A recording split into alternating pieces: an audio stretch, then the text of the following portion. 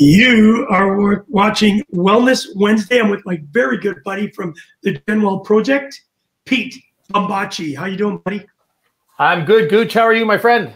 I am fantastic. Anytime I can have you on the show, and now with the Jock Doc, the Jock Doc, the, dyna- the dynamic duo. Duo. That's amazing. No, no. Who doesn't Who doesn't love to talk to a Jock Doc? well, we're both jocks, so now we can talk to the doc about all our ailments. Seriously, on Wellness Wednesday, it's all about just informing people about good health, good practices, uh, and of course, with uh, with our Jock Talk, we will learn a tremendous amount about just staying healthy. And then he's got an incredible project that he's developing this uh, database to help collect information for concussions. As you know, as young Jake comes up through the, you know, uh, the the hockey rinks, you as a parent want to know that he's going to be taken care of when it comes to that injury, and uh, Dr. Gary's going to do that. Yeah, honestly, I'm excited for this conversation because not only you know we're all about prevention on Wellness Wednesdays, but uh, understanding how to manage through uh, situations like concussions is really important because I think a lot of us get into it. Again, it's what we've talked about a lot, uh, Gouche. It's you know don't wait for the crisis.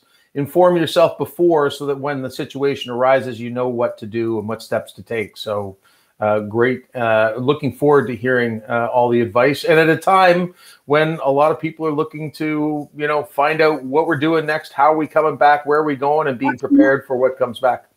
You know what? And I think that's really important. We'll talk to, uh, I call him the Jock Doc, but it's just so cool. And like, I'm Gouche. I don't know why your nickname's Pete, or I'll just call you Genwell Project, or you're the project. But I just like talking to guys like this because he's so invested in in protecting. And you and I both have said this. We are so, we, as humans, we're so uh, learned of uh, the crisis. Let's solve it. But why don't we prevent the crisis before it actually becomes a crisis? And I think that's what uh, his group is doing uh, to say, listen, we all know there's a problem. It's like the NHL. No disrespect. I don't point a finger to anybody. It's like COVID. You know what? There was no handbook given out to the leaders to say, okay, guys, this is how you deal with it. So we're all kind of swimming, doing the backstroke. So we need people like uh, the doc, Dr. Uh, Dr. Gary to come in and give us a real good perspective on how do we, I wouldn't even call prevent, how do we collect the data so that when somebody does get hurt, we know what to do and who to send them to. And, and you know, the one thing I'll also say, uh, Gouche, is I think this is really important. You know, oftentimes with the Genwell project, you know, uh, initially when we talked about social connection and, and belonging, people thought it was a seniors issue. But what we need to recognize that it's a societal issue that we need greater human connection. And I think when it comes to concussions, we need to recognize that this isn't the issue of the patient. This is the issue of every player, every manager, every coach, every parent to actually educate each other on the things that we can do to prevent the concussion from happening. It's about, and we've heard this for a decade now, if not longer. It's about respect, mutual respect for each other, and and recognizing when there's somebody who's vulnerable, don't take that shot because it may actually result in that person being hurt or injured. We saw a situ- situation in the NHL just last week and uh, you know and and and it's sad to see it because i love good body contact, but I also hate when I see uh, things like you're, that. You're referencing Wilson. It was a, a, hit that you know obviously has to be taken out of the game. There's no question. Listen, we're really excited. 25 years of experience. He's down in. I I think we're going to change it from Jock Doc to Hollywood Doc. Look at this dude. Dr. Gary, how are you, buddy? Hi. Yeah, Doc Hollywood. That's me. Not. thanks for uh, thanks joining us. Uh, you know, Pete and I do this every uh, Wednesday. We, we we bring in guests that are that are very informed. And one of the things that we really like about your platform, obviously, you're more than a concussion doctor. You're going to tell us exactly like your uh, you know your your extensive uh, uh, re- resume here what's important that you've been involved with the U.S. Olympic Committee, the Red Bull ath- uh, athletes, I think it's called. You, I guess you took care of all those crazy guys that are jumping from, I don't know, mountains and stuff like that, and and the LA Blades. So, and, and you've dealt with a lot of rodeo. You have done it all, and not only in concussion, but walk us through how you a have become known as the Jock Doc.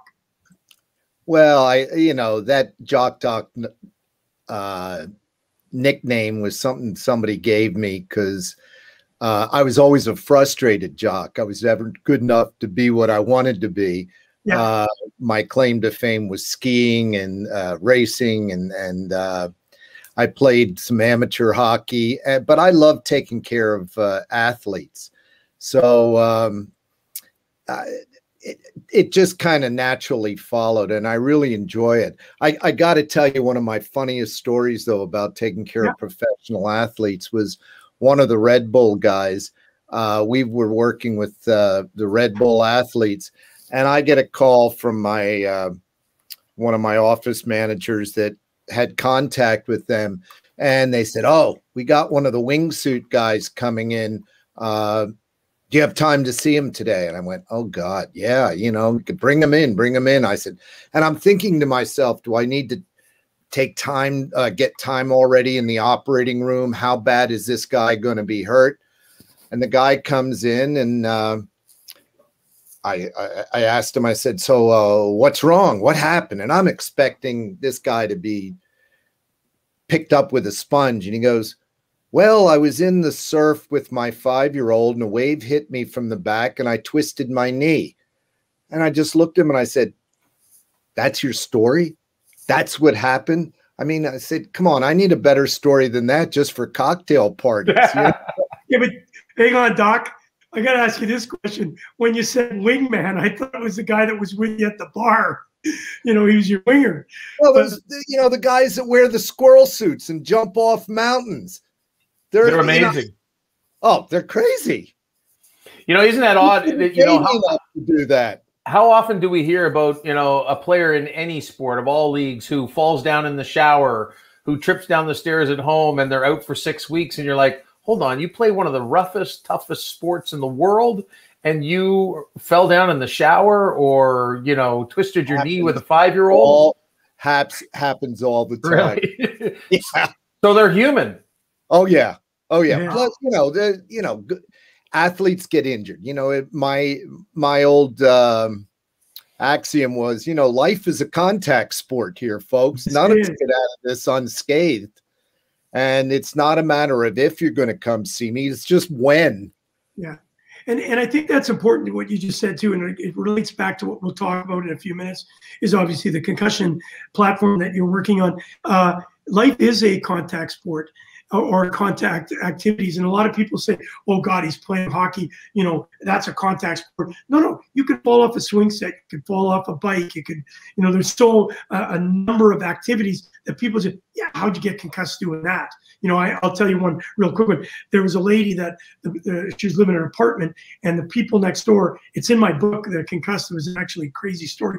What happened was, is that the guy next door had his speaker, his bass speakers set up against her wall, and he would be at late, you know, turning up the bass, and she had a Buddha on on one of her bookshelves that was over top of her bed and it kept moving and moving and moving and years it hit her popped her in the head. Imagine going into a doctor saying listen i've i bumped my head a buddha fell off the off the shelf. Well you, you all need good cocktail party talk. Yeah. Hey, listen talk to us about you know your interest, Gouche, yeah, interestingly about that there was a recent study that came out looking at uh, traumatic brain injury in in college students. And surprisingly enough non-athletic traumatic brain injury outweighed uh, sports concussions two to one. Yes. And and that's been a well documented study. Now whether they you know fell off a bar stool or off a you know when they're drunk it it the the problem is not just athletes. Now, obviously, my center is or my my goal is not the professional athlete, but the scholastic or academic athlete, you know, college, high school, elementary school, and younger, that are participating in sports because we know that these concussions and some injuries are cumulative in nature. You know, you get one, then another, then another, and all of a sudden we have uh, crescendoing injuries. Yeah. So, you know, that's what we that's the education part of this is to let parents know that look, this can happen on a playground, this can happen in sports. Obvi- you know, as we talked about last time, football is obviously the biggest one here in the states uh, for concussions, but the second most common is girls soccer, and um, most people don't know that. And then you start looking at men's hockey, but you've got uh, rugby, you have rodeo, you have uh, sledding, uh, bobsleds. These guys all get. Uh, there's a huge number of traumatic brain injuries in uh, cheerleading that these girls fall from uh, when they're doing the tumbling or they're doing those yeah. uh, pyramids. Synchronized swimming. Not as much, but it as they come out of the pool. Seriously, I know I had three calls on that. So I wow, three.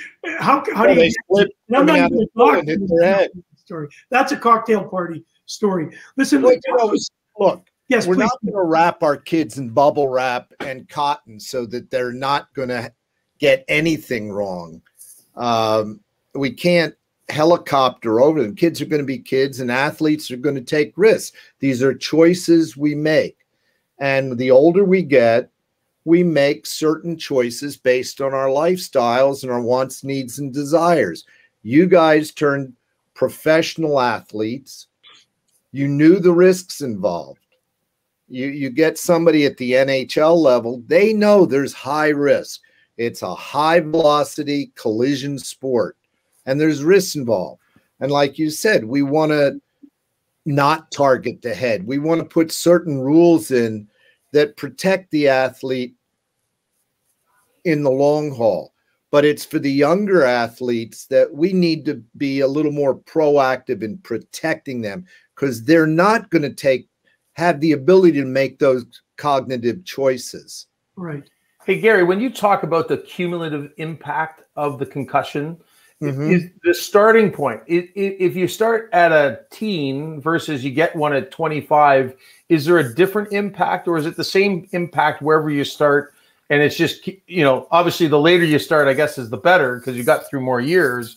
But is there a different impact on it different ages? It seems to be the younger has further much more impact especially Wow. with learning disabilities and long-term psychiatric problems.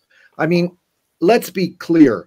When we're talking about an injury of this magnitude whether it's just getting their quote bell rung and they got eh, you know i'm a little yeah that really hurt. I'm a little disoriented. Okay i'm better that all plays a part.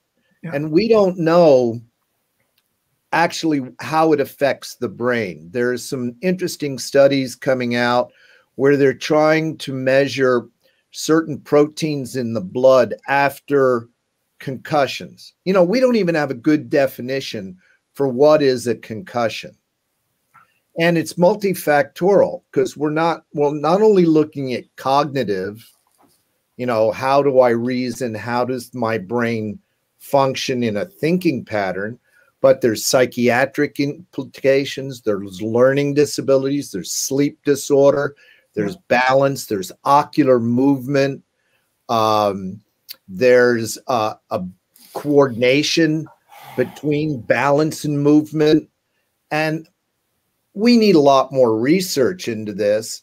And don't forget it's only been really about 10 years that we've Really we in the medical community have defined uh, cumulative trauma uh, encephalopathy, the Yeah. CTE that we see in, that was uh, brought out in the movie Concussion.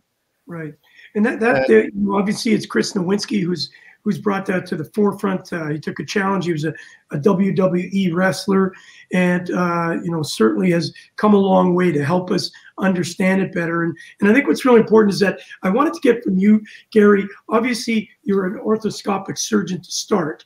Uh, tell us how you you do that, and then branch off into being, you know, taking care of the brain. Because it's very important for people to understand that uh, you're you're not just one lane. You're you're taking care no, of my. I, I I treat. I'm an orthopedic surgeon, and my specialty has been sports and specifically knee, shoulder. And I was in association with a group that we did a tremendous amount of uh, spine surgery uh, for discs and necks and things like that. Uh, so we always work together, and it's a team approach. Uh, I started treating athletes uh, because I was a knee specialist and shoulder specialist. I was very early on in the arthroscopic world and and developing minimally invasive surgery for the knee and the shoulder which led because I I loved skiing. It led me to doing a lot of ACLs and you know skiing with a lot of my patients when I practiced in Aspen, and uh, shoulders. Uh, there was a Dr. Harvard Ellman who is a very good friend of mine who published the initial work on shoulder arthroscopy, and I did a number of one of the very early shoulder arthroscopy uh, situations and, and treatment. And I think what we have learned is that sometimes the most conservative thing we can do is to be aggressive in treating a patient. And that's especially true with instabilities of the knee, like um, tears of the ACL. You know, you when I trained in the dark ages a million years ago, um, we would do open meniscectomies. And I remember my professors would put a cast on a patient and they couldn't walk for six weeks. Well, in those days, the, the cure was worse than the problem. And then arthroscopy began to develop, and we noticed that, gee, you know, if we spare the meniscus and we only take out the torn portion, that patients do better. And then ACLs, it used to be the same thing. It, I called it the, uh, there was a, a time when it was the operation, quote, only, it's so complicated, only I could do it, you know, the surgeon would say. And then it became a, with arthroscopy and more and more studies, became a much more uh, popular procedure. We knew it spared uh, the meniscus. We know that it gave stability to the knee. Same with shoulders. I mean, uh, in the older days, we wouldn't operate on rotator cuff tears until they were massive, and we only saw them in older adults. With the advent of uh, arthroscopy of the shoulder, we were able to intercede earlier and prevent these massive rotator cuff tears. Now we see it that we're doing uh, more hip arthroscopy and in working on the hip. We see this in our goalies all the time where they have tears of the labrum of the hip, which is that gasket. And now we're able to intercede. And so, you know, if you take the knee, for example, we do this many uh, arthroscopic procedures and this many total joints. In the hip nowadays, we're doing this many total joints and this many hip arthroscopies. So oh. as we become more and more advanced in what we do and understand the anatomy better, we can intercede earlier and prevent the need for total joint replacements and degenerative arthritis. I mean, the real buzzword in orthopedics today, and especially sports medicine, is number one, injury prevention, and number two, cartilage preserva- preservation. How do we preserve the cartilage in the normal cartilage in your knees or your hips or your shoulders so that you don't they don't wear out? Yeah. And that's where we're getting into biologics now, using uh, stem cells, using um, uh, PRP, which is uh, platelet rich proteins to inject into the joints to preserve the articular cartilage. And we're looking at procedures to see how do we preserve that and how do we keep from damaging that very de delicate and necessary hyaline cartilage. You know, cartilage is, you, have all seen the end of a chicken bone where it's white and glistening. And that's what articular cartilage is. And the best analogy is like a new Teflon pan. You know, it's real nice and smooth and glistening, and put the egg on, it comes right out. And after you used it a few years and you've dug it out because you've used the knife and a fork, it's all, you know, like uh, uh, like gravelly. Well, yeah. that's what that's what arthritis is. It's that wearing away of that articular cartilage, and hey, that's. Pete. Oh, sorry, sorry, Gary. Pete. No, that's okay, and that's what we're trying to preserve. Thank God we got the jock talk now. He may be able to extend our uh, men's league career. Yeah. Hey, I've had yeah. I've had three. My knee's done three times to remove some cartilage. But those procedures you're talking about, Gary, those are to repair once you've damaged it. Is there anything like I? You know, we're all we've all been told to stretch. Is that the when we talk about prevention to prevent the first injury? Is that really the that's the only that's really the only thing, right? Strengthening, I guess. Strengthening, Strengthening and stretch. Well, let me give you a perfect example of where research is for prevention. Studies have shown, for example, that the female athlete has a much higher risk of ACL injuries. In uh, volleyball, I think it's eight to one. Basketball, it's about five to one. Uh, and skiing, it's about four to one that women will have more ACL tears than men.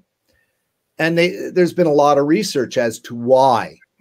And people have looked at the shape of the intercondylar notch of the knee joint. People have looked at musculature. People, and studies have shown, for example, that men are usually quadriceps strong. So when they come down from a jump, their quads fire. Whereas in women, because of the way they're built or their own particular musculature, they seem to be more hamstring strong. So there's been a lot of work done on teaching women how to land from a jump and fire and train differently. There's been research on, and I think we talked about this last time.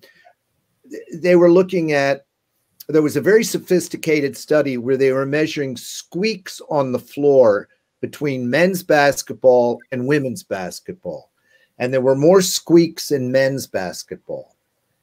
And they were trying to figure out why. And they looked at the shoes and they found that the women's shoes were basically just downsized men's basketball shoes, and that the coefficient of friction was higher in those shoes than men's. And it may have contributed to the higher ACL tears.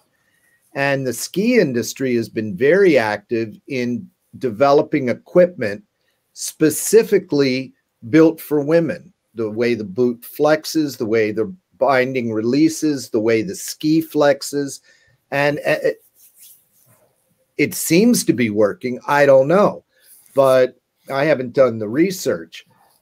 Uh, but these are things that, how do we prevent it? We change the training protocols. For example, uh, marathon runners. You know, it used to be, well, you got to run a marathon to qualify for a marathon or to train for it. Now the training is, well, let's increase pace, not speed. I mean, uh, not distance. Let's keep the training under a certain amount of mileage and increase the velocity that you're running or for the speed you're running the same distance and that will give you a better aerobic push you know with bicycling the positioning of the seat the positioning of the pedals all makes a difference in injury prevention And that's the stuff that we learn through research and biomechanics. So I have I have yeah. a six year old Gary, and so uh-huh. we talk we talk about prevention for the body. Let's talk about concussions. Is there anything I can do? And I, I'll, I'll I hate to say to prepare my son for uh, a concussion. And we played uh, hockey on the backyard rink all all winter. I don't think we had any of those situations, but. It, well, it, it, I thought that was a little. Yeah. I, well, I thought, you know, when you, when look, you them, your six-year-old checking your six year old into the boards is not good not parenting. Good. No, okay. That's not good parenting. So, you know, and, and taking him out of, you know, tripping him, eh, you know, all the dirty tricks. Come on. And so Let is score on you. But but seriously, is there is there anything that parents can do? Like, because again, I, I think and I think it's I the think it's Canadian Hockey League or the Canadian Hockey Association created those stop buttons that went on the back of the jerseys that encouraged everybody just to be more respectful. But to the kid who's out there trying to look out for himself or in preparation for a game, what can what can they do? Well, I think they need to wear helmets. I know the kids wear full face masks. Uh, I know that they they're non-check leagues up until what is it, 16? I believe so. Yeah. Yeah. I mean, I talked to Jerry West, the the old uh, Laker, about this when he was coaching and managing years ago, and he his suggestion was don't keep score, don't even keep score till those sixteen. Learn the the basics of the game. Learn how to skate, to stop, to stick handle. Look, accidents are going to happen. We know that in these cases, helmets help. Do they prevent a concussion? No way, no how.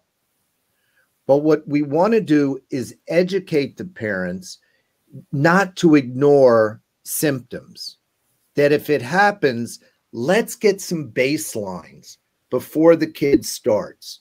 And that's what we're trying to do with Codiem and our our company is let's get so the parents have in their possession it's their data.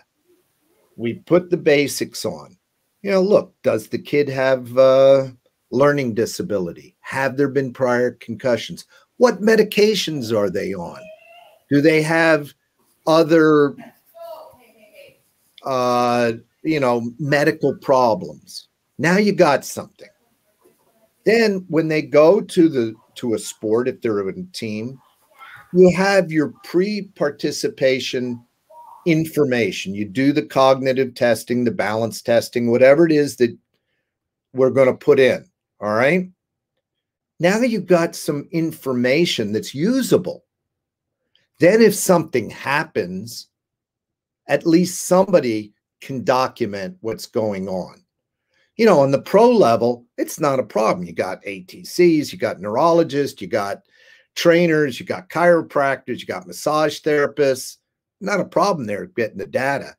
It's when, look, mom and dad are coaching or it's a club team that somebody's got to take responsibility.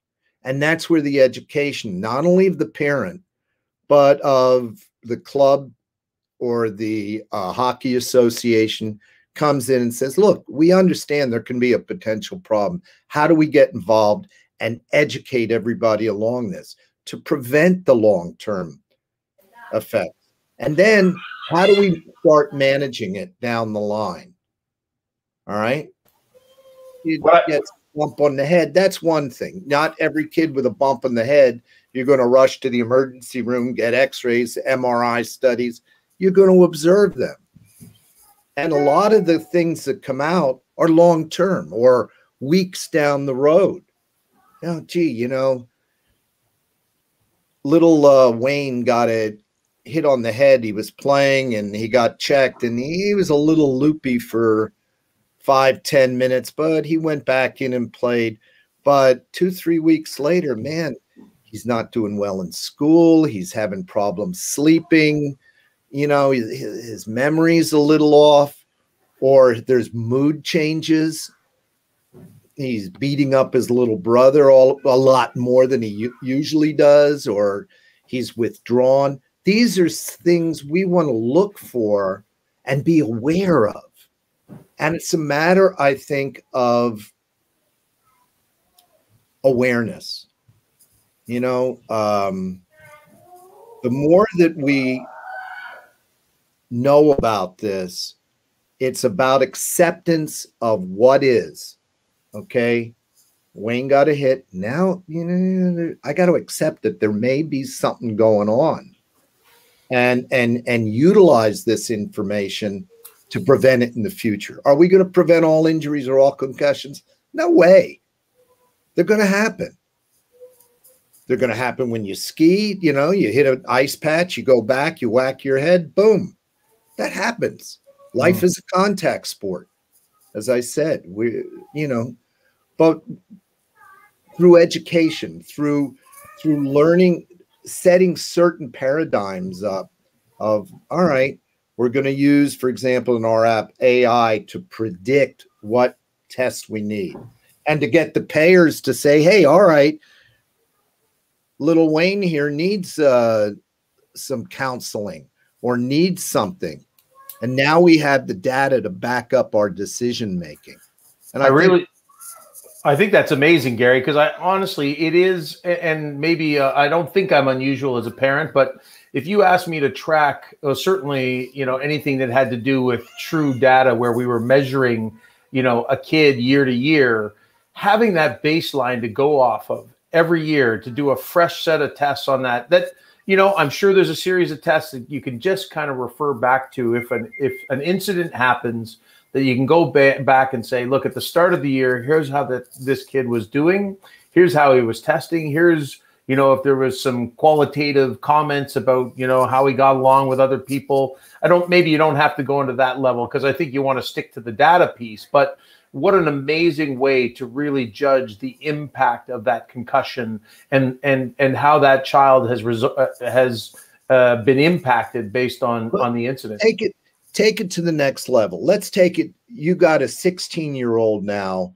who's really getting good at hockey and you know, at 16, they're starting to hit. They're starting to really play a much more aggressive game. And you have a kid that comes in and he's had eh, maybe he had a concussion when he was 12. And now you've got your baseline and he's had a couple of bad hits. And now at the end of the season, you've got something to compare to. And that's, I mean, that is so important to be able to give to the to the treater yeah you know we we talked to some guys um uh your buddy Gouche uh, i just scott holler, scott holler. Uh, yeah scott holler.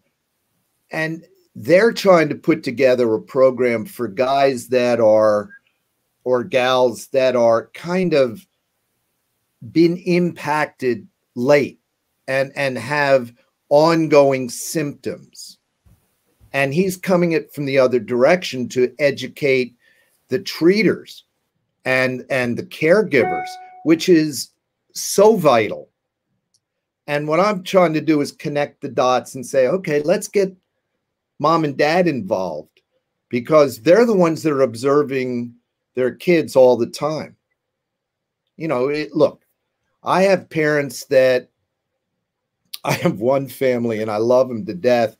Uh, and the father and the son, uh, the father was a fire captain or is a fire captain and uh, was captain of the, uh, the, football team for the LA Heat, and uh, which is the firefighters football. And he and his son are total motocross guys. And uh, I always tease them. I'm building a wing into my house just under their name, you know, dedicated by because they're always getting oh, hurt. Yeah, yeah. But um, you know, if you have the data now, if he's getting racked up on a regular basis and he wants to make a career out of motocross, man, that data is vital for him moving forward. And not only that, you take this data you have best practices now, which we're building into the app. And you can take this, and when the insurance company says, nah, he doesn't need an MRI or he doesn't need a neurology consult, you go, well, wait a minute. We have already gotten all the criteria together that you want. Here it is. How can you say it's not indicated now? Hey, uh, Gary, let me ask Pete. That's very vital. Pete, I want to ask you because Jake is coming up as a young athlete, and you know he's going to play hockey already. The kid can skate like a, like the wind.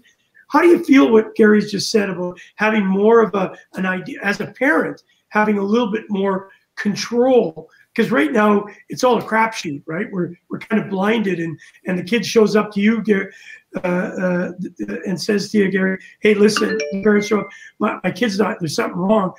Tell me what's wrong. And you're just, you're trying to figure it all out. And you may not know that young boy or girl's history. It would help you if you did know they had certain predispositions or, or whatever. And here's how it happened. So, Pete, how would that feel for you to know that Dr. Gary has all that information about your son when you're bringing him in? You feel it's because it's not a knee, and it's not a it's not a shoulder. It's your child's brain. Yeah, and I think you know, Gouche, it's a great question, and, and Gary, I love where you're where you're going with this because at the end of the day, and we were touching on it a bit there. I have no idea about concussions, all other than watching the movie, listening to Gouche, watching these shows, and I'm learning as we go here. But if we you said all me, are, yeah, we all are. There's no definition of what's a concussion. And, and I think the idea of, hey, if you gave me 10 to 15 tests that I could, you know, some might be computer responding to light or, you know, and maybe it's touching your toes and standing on one leg. I don't know what the tests are. But if you gave me a series of tests that I could put my six year old through right now and say, today, here's where he is. And then, you know, he has a couple bad hits and all of a sudden he, he's, he doesn't see him himself. But we've got these measurements on these tools that we were able to test now that's what we're trying to put together. That is like to me, Gouche, that's worth a million dollars. So we because- we've had yeah. So there has been studies done, or, or there are some platforms, of course, with with impact, and you know, again, it's also that. And uh, correct me if I'm wrong here, Dr. Gary. Um, it's also very important to understand that once you have all that data, you know, the child's brain changes, you know, drastically over a, a, very short period of time. So, but you also have to, it's who is reading that or validating that information, right? Because oh, good information look, we're not we're not turning the the care over to the parent entirely. No, no, what we're trying to do is just give a more complete database that is user friendly that you own. Okay. This is your kids. You have priority. You've collected this. You can use it any way you want. You can take them to the doctor and say, or the pediatrician or the psych or whatever, and say, look, you know, little Johnny has had, he's been diagnosed as ADD and he's on medication.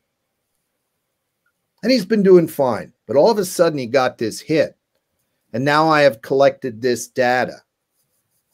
Now it gives me information that I can make critical choices and critical uh, diagnostic decision. It gives me an algorithm to follow. Okay. Right. You know, it, it, it's like a roadmap.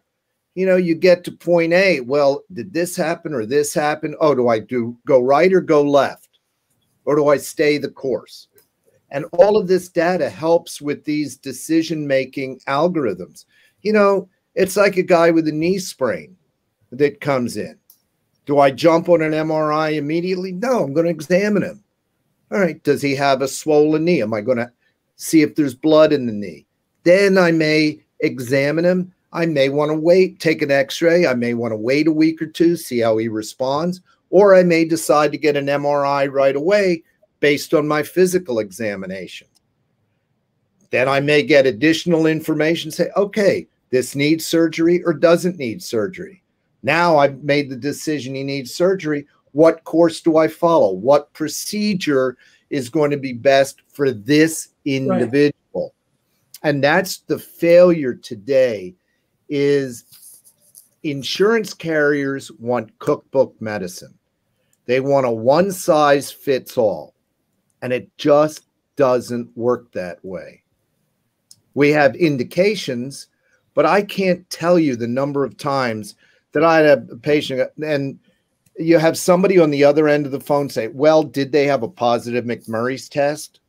Well, who cares? The only person that was important to was McMurray, who got his name attached to it. Did he did he have six weeks of non-steroidal anti-inflammatories or use a brace? No, he's got a lock knee. Come on. It, he doesn't need these things. I've been practicing 30 years. What do I need? Uh, you know, a high school graduate telling me how to practice my medicine based on a menu checkoff from the insurance carrier. And look, there's been abuses on both sides. There's guys that'll operate on anything, anytime, all the time. You want to choose a physician that has integrity, just like anybody else. You want integrity. And and that's what we try to do or hope to do. Um, but the powers that be that hold the purse strings are controlling medicine today. Right. And why, that's why we want the parents to control this data. And, and, that makes sense. And it would make you, Pete, obviously much more. And that's why Scott Holler actually got into the concussion space. He was an osteopath, and his young daughter was. That's how I met him, and that's why I was so impressed with him. He wasn't doing it because he knew he was going to make become wow. a millionaire. He got in it because he knew his daughter was going to go. And you've heard this. Guy, He was. She was going to go play, and he was not scared of her getting a concussion. He, he was scared of what who diagnoses it and deals with it afterwards. And so I because really, you know, the average treating physician doesn't really understand concussion. And you know, along those same lines, Gouche, the developer of our app, uh, I may be the mouthpiece, but he's the brains and the developer of the app.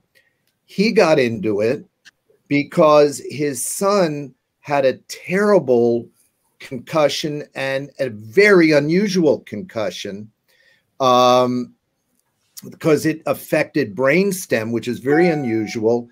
And he got into it because he couldn't get his son diagnosed. They said, oh, well, it's ADD. Oh, well, he has a learning disability. Oh, well, he has a psychiatric problem. And it took a long time to finally make the diagnosis. And he went to a myriad of specialists until somebody came up with, well, you know, probably happened from a concussion. And this is this was the starting point. And I that's where I think, you know, Dr. Holler's um, work is is is incredibly vital. You, you know, know I, I think his training of caregivers, whether they're ATCs or physician's assistant or GPs or specialists is phenomenal and it's needed. It's badly yeah. needed. As I as I listen to you describe the the situation with the knee and looking back at the history, I think this is the thing that we all need to recognize is that without that information, unfortunately, you don't have the opportunity to draw blood from the brain. Like I'm assuming, uh, I'm I'm no doctor, so you know all those all the yeah. was it was it obvious? I'm just kidding. You got uh, but, beard for one. Yeah, exactly. Yeah, you know, come on, you're growing the little white hair there. Come on. Hey, I paint that in just to look more mature. What are you guys talking about? no, but I, I, think when, when I listen to you talking about the knee, uh, Gary, for me it was like, hey, a knee, and we've all we've probably all had bad knees at one time, and you're like, okay, well, I can see how you could do all those checks before you get to a surgery.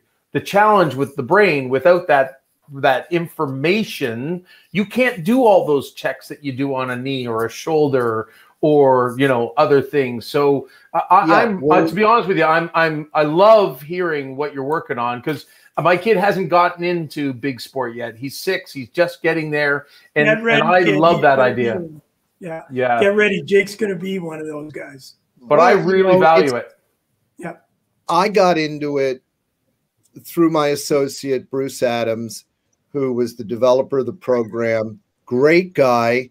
And, you know, we just talked this through. And I said, you know, there's a need here, man. Let's run with the ball. Hey, Gary. We've got a really good team together, I think, to get this You've got going. a great team with Jeff, and of course, you've uh, talked with myself and Scott, and I will will get back on track with that. Uh, can I tell him who uh, who Mr. Adams' brother is? I don't care. sure, I guess. Summer of '69. Bryan Adams. You got Yeah, it. Okay. I had to tell you that because that's amazing. I, I was on the phone with the dude. It's, okay, okay, can you get me an autograph from your brother?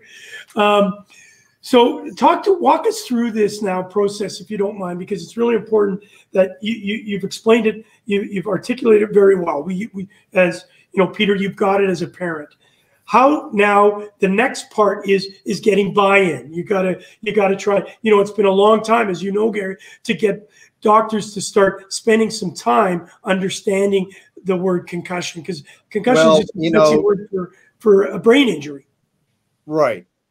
You know, uh, like any business, the financing and getting it off the ground is always the hardest part. And we are in the phases of getting our beta test model ready to roll. But, you know, financing is tough nowadays. Um, to answer your question, how do we get people to recognize it?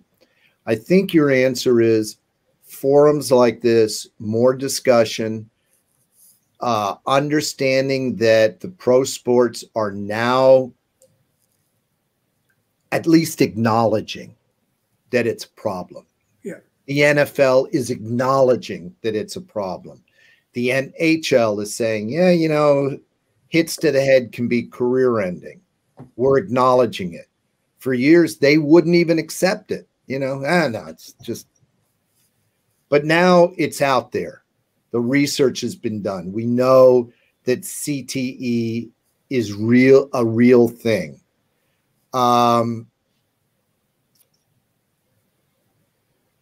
education, talking about it, getting it out there, talking to now organizations, being able to approach, for example, AYSO soccer um, or uh, US hockey to say, hey, look, how about coming on board with us? How about sponsoring a club and you buy the app and supply it to the club for a minimal charge? yeah um, getting sponsors, getting people like CCM or or you know Red Bull or or Gatorade to say, hey, you know what?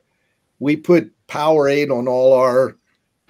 You see it being dumped. It's all over the television. You see advertising. Come on, come up to the plate and help us with this.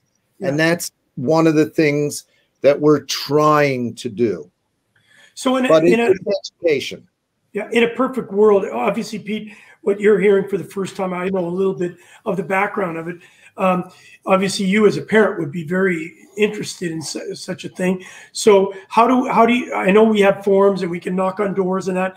When do you when do you feel it is time to do that? Like once you get the financing in place, how long do you think to getting the financing and bring it to the market and getting people to Uh, buy in? we are What- hoping within six months to have it to market. Okay, wow. Yeah, we we're at the point that we think that if the financing comes through the way we plan it, um, that probably six the outside nine months we would have in a uh, form ready to be utilized on a 1.0 level. And this is going to be an ongoing program that understand the more data we collect, the more valuable it becomes because then we our our predictions uh, for the AI and best practices be, becomes that much better. The more data we have, the better it becomes. You know, I know you, you mentioned Powerade and obviously brands that you think of uh, maybe south of the border. When I think of uh, youth sport up here, I think of uh, Canadian Tire. I think of uh, Tim Hortons for Tim Hortons soccer and hockey. I think of Bank of Montreal, who's pretty big on community sports. You know, these teams, these, these companies are involved in getting kids out and active, and that's the original inspiration was being part of the community. And I think for a few dollars more, because I can't imagine, you know, if you were going to sign up every kid playing a recreational sport in, you know, the US or Canada, you know, we're talking millions of people that are going to be using this on an annual basis that it, it would have there'd have to be some cost efficiencies there in using the app that it wouldn't cost the sponsors uh, significantly more to what they're paying for the the brand on the jersey, the socks, the this, that, and the other, whatever the sport is, and, and to be able to put your brand and say, hey, we at Tim Hortons, we at Bank of Montreal want to step up because this is about prevention. This is about keeping your kid in the game. This is about keeping your kid healthy and happy and contributing to society for the rest of his life by taking these simple steps. Yeah. To me, I think there should be brands banging down the door so that they actually, rather than just connecting your your name to a jersey, it's actually to a really meaningful well, thing that, that's keeping your that's in the our, game. That's certainly our goal. But as you know, in any business, always a challenge. Always a challenge. Uh, lawyers want to get in and, and uh, make things more complicated than they need to be. No offense to any lawyers out there, but I don't take offense. Uh, let me let me ask you, let me ask, let me ask you a question, guys. I want to I want to hear you. You're both. I I, I unfortunately was not a father, but you know I didn't have children. But I've had many children around me, of course, just because of the the nature of my being a pro player and stuff. And I you know I have a lot of kids that I, I adore, and I just I would do anything for them. So my question to you, why wouldn't a parent just automatically understanding what you're building, Gary? Why would I know you I, I know you need funding to do that, but you as a parent, would you not want to be the one to say, listen, if it's going to cost I'm just using a number, so don't. It's going to cost me 25 bucks a year to have this app, uh, and I'm going to have that data at my disposal. And I would why almost like an insurance pay each year. It's it's not a knee, it's a brain. Why can't yeah. we as a society come up with that plan? Well, I, I, the answer is I don't know. I mean that our goal, our goal is to make this so affordable for the average family that it's a no-brainer. Do you know they did a study out of um, I believe it was um, uh, University of Utah. The average cost for a year. And they took an average i think the average income was $66000 a year us and the average amount spent for children's sports for one child for sport for the year was i think 5500 bucks was spent. And that included uniforms, game stuff, travel. You know, yep. hockey was a little more because of the uniforms. That was about seventy five hundred a year. Yep. Come on, a hundred bucks more for the app. But what? But Gary, what I think even more. Yeah, what's even more important than that, and Pete, you may have not gone through it yet, but just if you have a child that, God forsake, has a concussion, and you need to do take them to all these therapies and they can't play. You're putting not only putting money out but you're also your child's not playing but the amount of time and energy that you need just finding you said it you know you could go to four or five different doctors. Not every one of them has listen you could go to a, a, an emergency center in the city of toronto and get four different diagnoses from five different hospitals of what it is so uh, we need to galvanize this and centralize it. And I think that's what your platform can well, do. That's what we're trying yeah. to do. Yeah. I mean, you know, there's an old adage, you know, if you if three orthopedists are in a room and you ask their opinion, you get four different opinions because one guy's not going to be able to make up his mind. Yeah, or it's a double to treat something. Um, yeah. look, uh, what we're trying to do, really, and I, I, I, to bottom line it, I think it's about education, putting the data in the hands of the people that need it, the parent, who then can use that data to whomever caregiver they want to give. And now you have something that it's the interpretation from the caregiver. You go to Dr. X and you say, Look, here's the data. And he goes, Oh, okay. I think this, you know, but I don't handle this. Maybe you ought to see Dr. Y or a neurologist on this. And here's my opinion. Now you have his opinion, but you have the data. And you say, you don't have to repeat the story. Again, and, oh, yeah, I forgot to tell you that he had this done, or I forgot to tell you he had that done. Now you go to Dr. Y and you say, here's the data. God, oh, you know, I didn't see that the first time, but boy, look at that. That's an important factor. And, you know, I do a lot of medical legal stuff too. And I can't tell you how vital when you look at the medical records on somebody and say, oh, Absolutely. oh, what was really done? The, the patient will say, well, I had a rotator cuff tear. I, I don't know. He stuck something in my shoulder and ground away some bone. Well, what was really done? I got to see the operative report. Yeah. You know, most patients, they don't know what was done. I got a couple of holes in my shoulder and doctor fixed it. I don't know. It works now. You know, you know it, it's interesting. This whole conversation, and Gary, you were talking about this right off the top, which is about uh, we as a society like to live. It's not that we like, we live in crisis. We don't take preventative action until we're in the crisis. And mm-hmm. and I know uh, at least a couple friends who've had kids who, in one case, and it was a soccer. To Gary's point, it was a soccer collision, and I think he was dark rooms, beds, couldn't function, couldn't work, couldn't focus.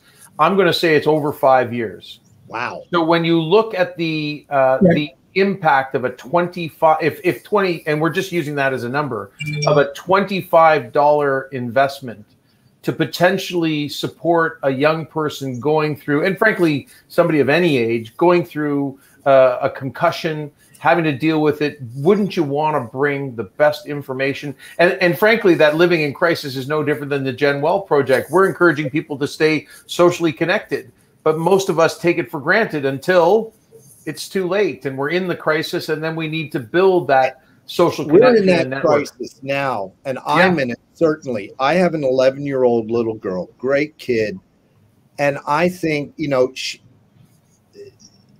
the her only connection now due to COVID is is through the internet and through social media and zooming her friends. I mean, the only way she has contact to school is through Zoom. Yeah. And it, I think this is just the tip of the iceberg that we're seeing with this social disconnect. And especially here in the States and in LA, forget it. I mean, you know, people are in their cars or they're on the computer. There, there's no central town where people socialize. And now we can't because of COVID. Right. Although God bless with the, you know, the uh, vaccinations were little light at the end of the tunnel. But I, I think that this social interaction one on one is really hard. I mean, look, we would have a much better conversation and a much more one on one if we were sitting in the same room. Absolutely. Right? Yeah. Or you could say after this, okay, that was great. That was fun. Let's go get a beer, guys. No, I, I need red wine. Hey, listen. All right. I want to add to that. I, I, just want, it's really good. Sam Trapolino, who's helping us in uh, Adelaide, Australia, his young daughter was hurt in in a, in a in a playing hockey. She fell in love with the game and she got hurt. And he was fortunate that he knew me and was able to talk to Natalie, who's one of our specialists in, uh, in Australia, and also with Scott through the internet, right? And he basically said to me, Gouche, if I didn't know you, I would have allowed her to go back and play. I, I didn't know. She just said she had a headache and her neck was a little sore.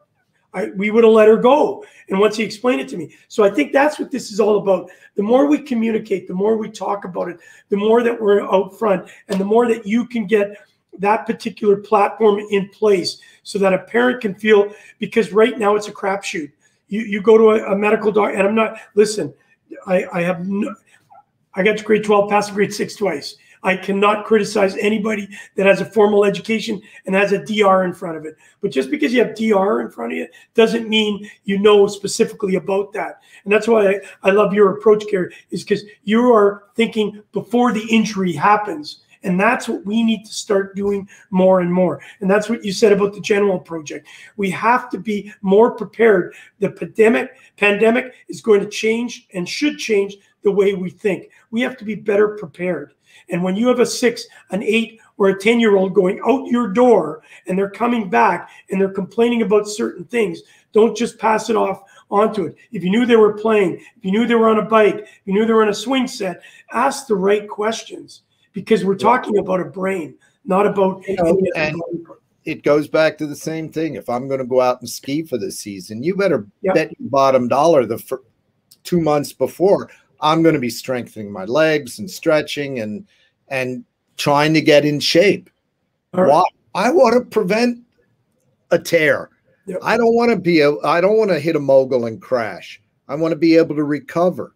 I just want to go straight down, put the skis down, and just fly. But uh, can't do that anymore because my knees will fall apart. Hey, listen, uh, uh, the Jock Doc, we've taken up a lot of your time. We really, really appreciate it.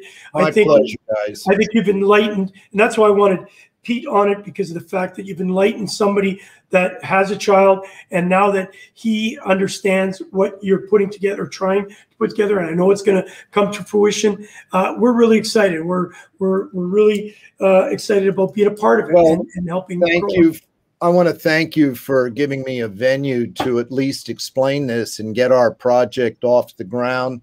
Uh, Pete, I feel free to contact me anytime. Uh, Gouche can give you all my information, and you know if the if the listeners have questions or viewers have questions, you know, Gouche, you can give me my email. I yeah. answer my well, email. Well, there's one here, and I, we, it'll be a long answer, so I'm, I'm gonna I'll send that to you. Uh, it's about a knee thing. So thank you for that. Listen, we really look forward to getting you back on in a couple, maybe a month or so, so we can find out how you've updated. And, you know, you and I'll be talking anyways. And I can't wait to the three of us get an opportunity to do exactly that. You two can go for a beer, and I'll have a nice glass of red wine. Uh, nice California. I'll bring one of those California uh, reds up for you. All right, buddy. Thanks. Thank you all. Bye bye. Bye, guys. How nice was that guy? Unbelievable. That's amazing. I love the work he's doing because again, yep. and and this is what Wellness Wednesday is all about, Gouche. It's about prevention. And whether it's concussion, social connection, your health in any which way, uh, we have to all start thinking about what we can do to keep ourselves healthy. Because whether it's the health system or whether it's the government and all the the money that's being put out there, it isn't there to cover us at all times. So the best thing we can do is do all we can to stay healthy before, you know, the definition of insanity. I'll finish off with this. You know, we've always said the definition of insanity is doing the same thing over and over again and expecting a different outcome. I think the definition of insanity is waiting until people are sick before we try to help them. Wasn't that and, Einstein? Yeah, it was. That yeah. was good. You just picked up that quote. But I, I got to tell you, this was a selfish show. I'm not. Let's be honest. Now we know the Jock Doc. And there we go. My knees are in trouble. I can. I can look at. I told you about this. I got frozen shoulder, right? And the only reason why I got it is because I scored so many goals. So now I'm going to have to go down. Once we get out of pandemic, he doesn't know it. I'm coming to see him. All right, buddy.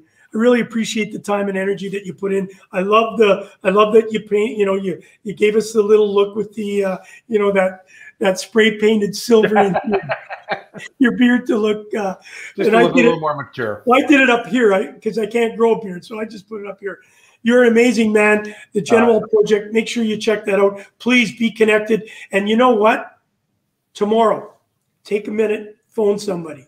Great idea. Do it right now. Just make sure you reach out and connect because we need make you. Nobody knows how important that call may be. So, uh, thank you, bud. Love you. Well said, my friend.